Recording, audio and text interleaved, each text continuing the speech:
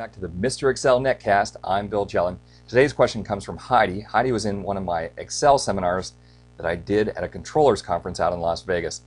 Heidi has an outline where she basically has to fill in the sub items. So she has 1.1 and 1.2 and 1.3 and then needs to number the items in the middle.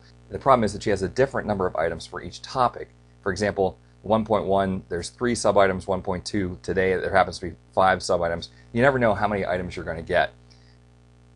She basically starts out with a sheet that looks like this that has the major items filled in, and then she needs to fill in all of the sub items.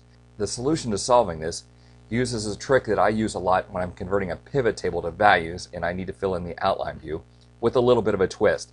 I'm going to select all of the cells, including the headings that we have and the blank cells we want to fill in, and then use Edit Go To. On the Go To dialog box in the lower left hand corner, I'm going to click Special and then click Blanks. Click OK.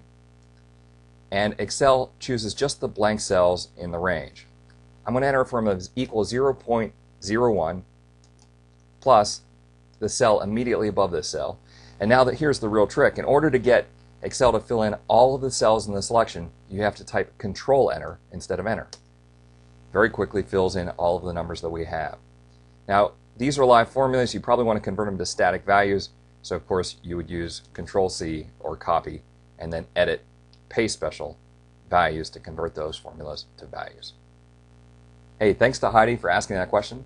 Another idea if you work for a large company where you have many divisions and they get together once a year for a controller's conference or an accounting conference to review results and you want to do some continuing education, give me a call. I'd love to come out do a quick one or two hour seminar for all of the accountants from the various divisions to show them a lot of Excel tips. You can stop by the website, mrexcel.com, click on the Bring a Seminar to Your City link, and there's all the details there. Or just give us a call.